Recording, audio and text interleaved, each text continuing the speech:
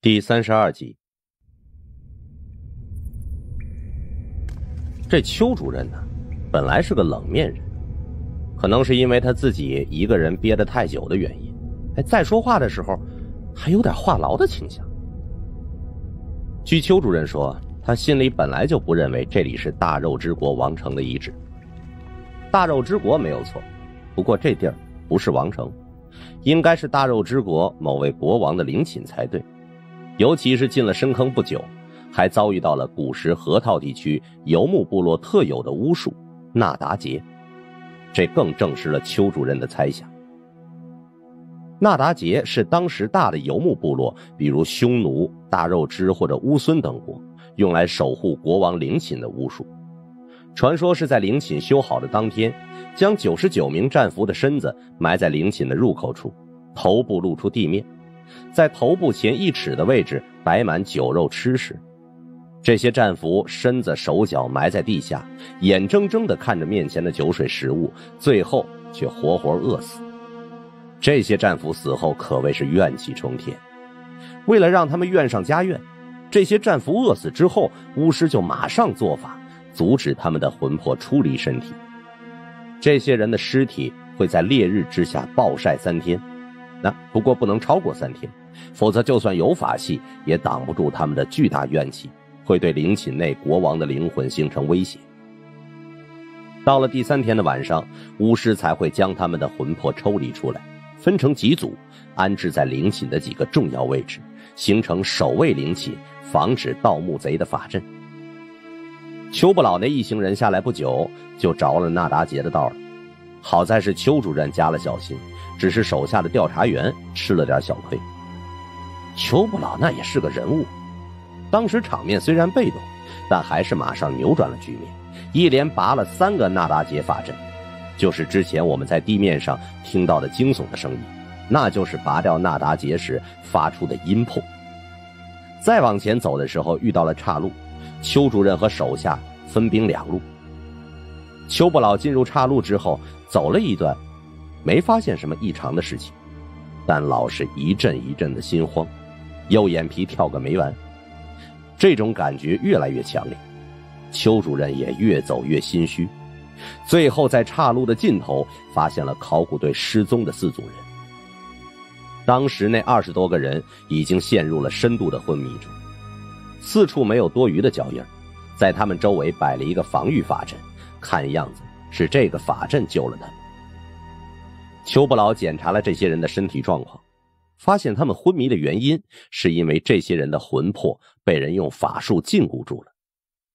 这种法术本身没有什么杀伤力，只是封了人的六十，给他们来一次深度的睡眠而已。邱主任更感兴趣的是摆在地上的阵法，一把小号的桃木剑插在地上，周围看似凌乱的摆着不知是什么动物的骨头。刚才邱不老不知原因的心慌，看来就是这个阵法带来的效果。布阵的人是个高手，能让邱不老在几百米外都感到不安。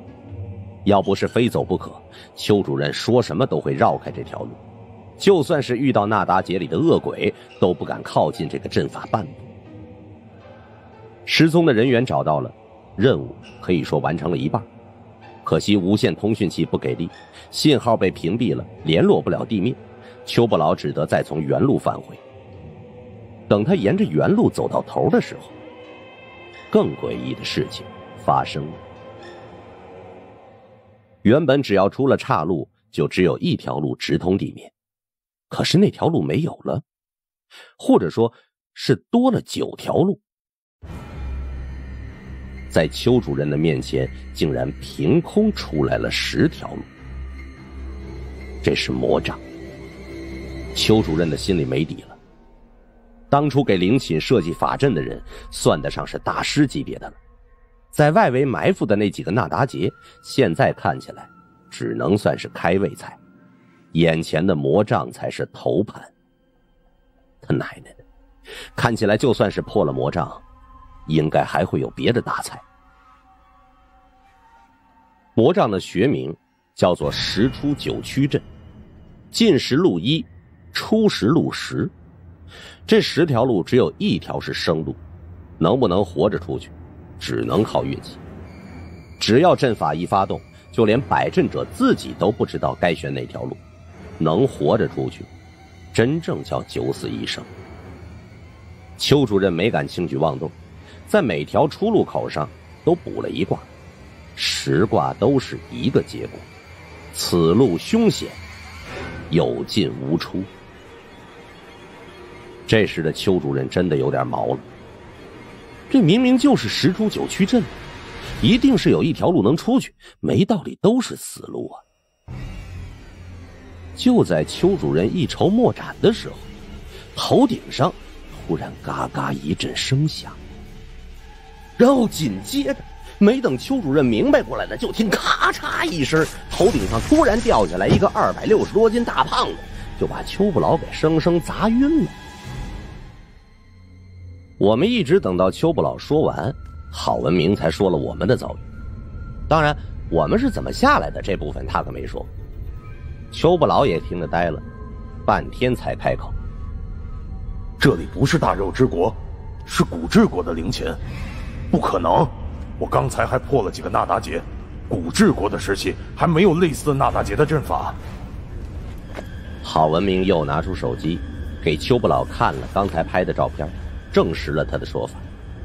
邱主任看了直摇头，他一直坚持自己的观点，不认为这里会是古治国的灵气。孙胖子在俩人争论的间隙插了一句话：“哎，对对对对，两位主任，管他是大肉之国还是骨治国，那等出去以后再慢慢研究。现在是不是应该考虑考虑怎么出去啊？”大圣，我们可以从主墓。这话说了一半，剩下的被我自己咽回去了。抬头的时候才发现，头顶上的暗道口不知道什么时候已经消失不见了。我把破军给拉了过来，破军，你扛着，我上去看看。唉，省点力气吧，别折腾了。我们现在位于魔障中心，空间已经混乱了，除了眼前这十条路，不会再有别的出口。郝文明不作声，算是默认了邱不老的说法。孙胖子围着这十条路转了一圈。十条路，我们五个人一一人走两条路也不算什么呀。破军苦着脸摇了摇头。大圣，没你想的那么简单。这个魔杖又叫九死一生局，除了一条生路之外。其余的九条都是死路，有去无回。切，破军儿，你那什么表情啊？啊！现在有两位主任在这儿，你还怕这个魔杖搞不定？你想的太简单了。破军苦笑的看着孙胖子。魔杖是不受控制和没有规律可言的。你你的意思是？能能不能出去，就靠运气了。啊孙胖子是真急了，说话都开始结巴。郝文明一直没言语，眯缝着眼睛一直在看孙胖子。突然向他招了招手：“大圣，你过来。”“呃，郝头，你叫我。”孙胖子不知道他想干嘛呀，犹犹豫豫就走到郝文明的身边。郝文明古怪一笑，手指着十条路，画了个圈选条路。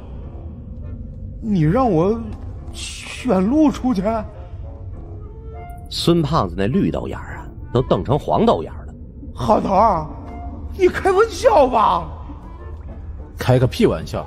快点，不是我说赶时间呢。郝文明看着有点不知所措的孙胖子，语气稍微平和了一点。大圣啊，现在我们五个人里啊，就属你的人品最好，你选一条路出去啊，最合适。旁边破军和邱不老也是一脸不解，他们俩搞不清楚郝文明葫芦里卖的什么药。孙胖子围着十条路转了好几个圈，还是拿不定主意。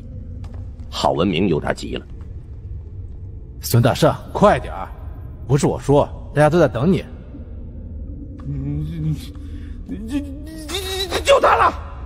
孙胖子也豁出去了，他指的是自己对面的一条路。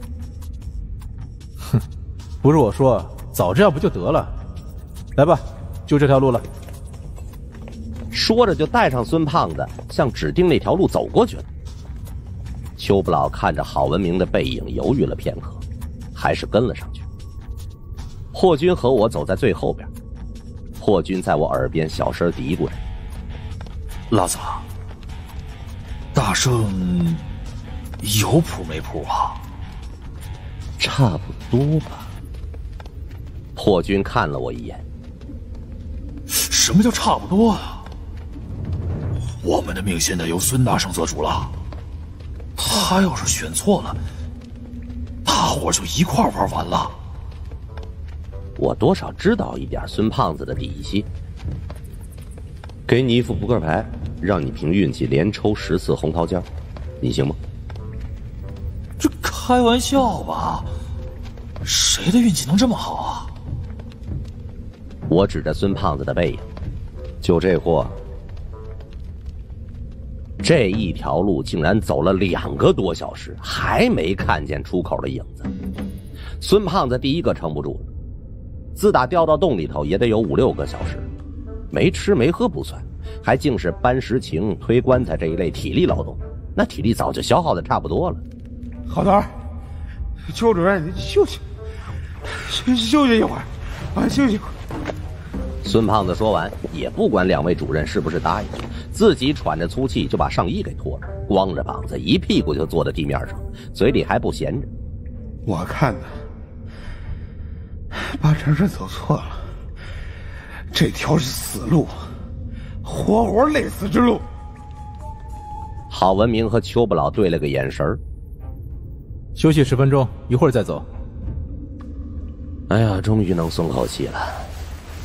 虽然只有十分钟，那也比没有强。我盘腿就坐在孙胖子对面，他还在那儿唠叨，我也听得烦了，就用胳膊肘捅了他一下。大圣啊，你消停一会儿吧。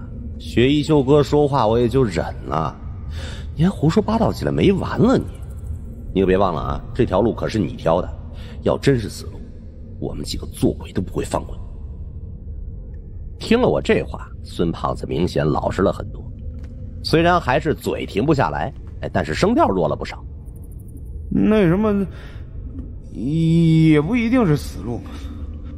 孙胖子指了指我身后的方向。哎，辣子，你眼神好，你看看前面是不是有亮光啊？少来这套，孙胖子，别转移话题。我们五个人十只眼睛，有没有亮光能看不见？我还没说完呢，就见破军、郝文明还有邱不老。这仨人眼神变了，正直勾勾的看着我身后的方向。嗯，真有什么东西吗？我回头看看，还是黑漆漆的一片，哪有什么亮光啊？你吓我一跳！我这跳字还没出唇呢，前方突然有个亮点闪了一下，只闪了一下。前方又重新归于黑暗，